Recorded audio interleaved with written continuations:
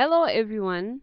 We are in week 17 for music listening, and we are looking at elements and principles. Now, with elements and principles, you must understand that in music we have certain terminology that we use to describe things that we hear. So, we're going to be looking at elements and principles of music listening. Elements of music, first of all. When you listen to a piece of music, you'll notice that it has several different characteristics. Just like a personality, just like a movie that you may watch, just like a piece or a sculpture or a painting. It may be soft or loud, slow or fast, combine different instruments, and have a regular rhythmic pattern. So, all of these are known as the elements of music. We have pitch, tonality, melody, duration, rhythm, meter, structure or form, dynamics, instrumentation, texture, harmony, tempo, and then finally timbre. Basic elements of music. Let us define all these elements that we mentioned. First, we have dynamics, which have got to do with the volume in the music e.g., loud. Using the Italian word for loud is forte, or quiet. The Italian term for it is piano. Then we have duration, the length of notes, how many beats they last for. Link this to the time signature and how many beats in a bar. Then we have rhythm, what is rhythm? It is the effect created by combining a variety of notes with different duration. Consider syncopation, or cross rhythms, or polyrhythms, duplets and triplets. Then we have structure, the overall plan of the music, e.g., is a ternary, which will be ABA, or rondo, a, B, A, C, A, D. Then we have verse or chorus. Then we go to the pitch.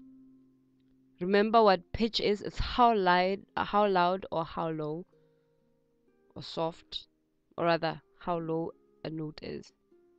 The relative lowness or highness that we hear in a sound that is called pitch.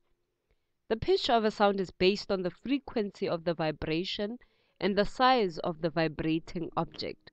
The slower the vibration, the bigger the vibrating object, the lower the pitch. The faster the vibration, the smaller the vibrating object, the higher the pitch. For an example, the pitch of a double bass is lower than the violin because the double bass has longer strings. Pitch may be definite, i.e., piano, or indefinite cymbals. Then we have the melody, the effect created by combining a variety of notes of different pitches. Consider the movement, steps, skips, leaps. Then we have meter or time signature. That is the number of beats in a bar, e.g., 3 4 or 6 8. Consider regular and irregular time signatures such as 4-4 or 5-4. 4-4 being regular, 5-4 being irregular. Then we have instrumentation, the combination of instruments that are used. Consider articulation and timbre. Maybe they're playing staccato, maybe they're playing legato, or pizzicato.